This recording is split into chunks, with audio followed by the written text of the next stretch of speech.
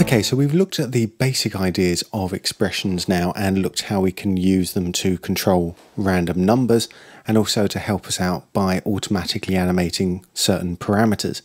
Now, one of the things I really like to do is to tie certain parameters and certain um, effects to time.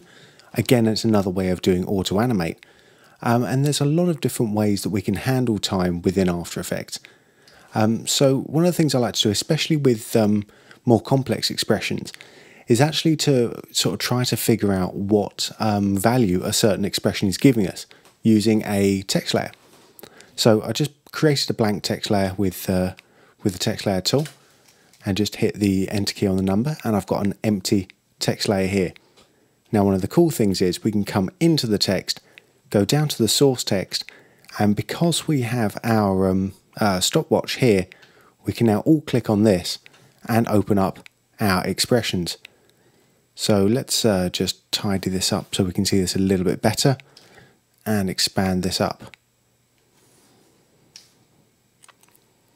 So the cool thing is here is that I can actually have anything typed in here. If I just put them within um,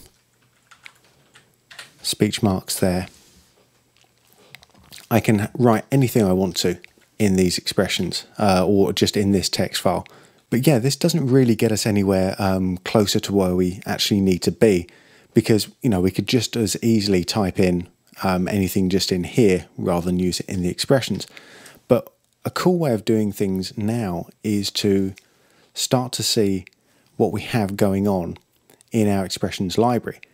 So we have all of these sort of regular global things, and let's look at time now, and just come into our time and just uh, just type time in and it will actually show me now our time. And as we go through here,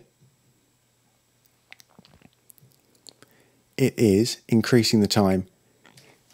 And I've go through one frame at, frame at a time. You can see actually I'm working in PAL here, so I'm working at 25 frames a second. So each step that I go through is moving in in 0.04 of a second. So this is uh, this is cool. Um, you know, so we're seeing uh, time expressed as fractions of, uh, seconds, or you know, to, to two decimal places. What I've actually wanted to um, come in and see this maybe as uh, as as frame numbers instead. Well, let's uh, come in and we'll add this as a little variable, and let's take this as well. We'll call this one uh, S We'll call the next one t. So hang on. So I need to go s equals time, then semicolon t equals. let's have a look what else we have here.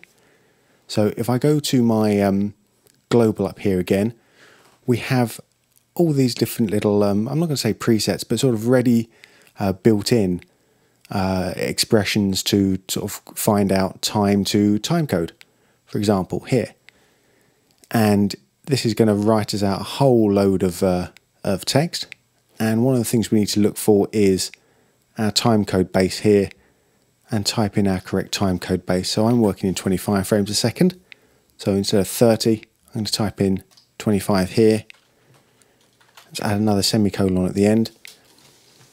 And now I can choose whether I want to show my time as time as uh, zero and two decimal places or time as in time code.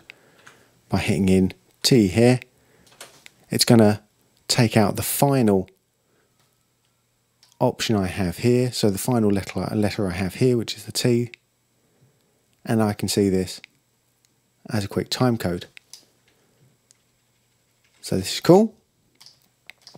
But I can also see this as frame numbers as well. So if I go U equals and then come over to my global again and we can go time to frames. And this again will type in a whole load of, uh, of stuff, which we don't really need to uh, concern ourselves about too much at the moment. And let's add a semicolon there.